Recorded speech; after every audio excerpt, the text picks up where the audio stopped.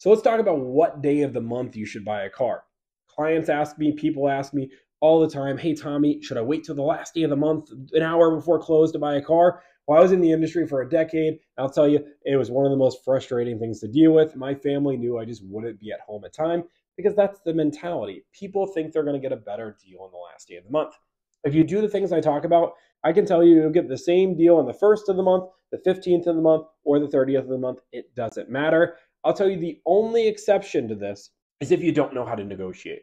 You don't know how to negotiate and you happen to get lucky enough to walk into a dealership that is close to a goal on a new car or a used car, you might get a slightly better deal. I normally see the people that are getting better deals on the end of the month. For people that would normally get like let's just call it a B grade that now goes up to a B plus. If there isn't a good time in the month, that means you can buy a car all year round at the same deal, right? Well, not necessarily true.